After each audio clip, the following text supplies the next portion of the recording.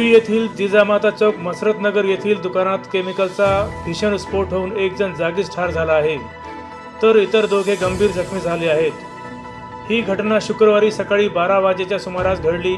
अनिरुद्ध सर्जेराव पांचाळ असे मृताचे नाव आहे.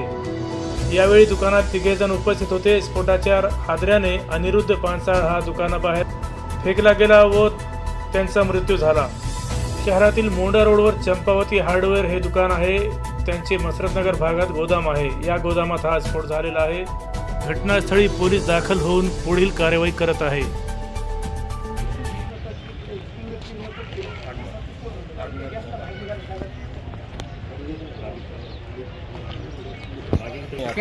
हो,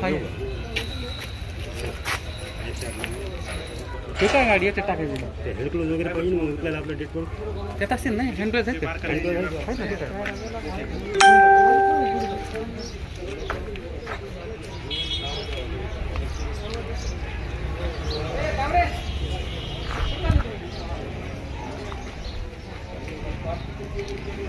आहेत ना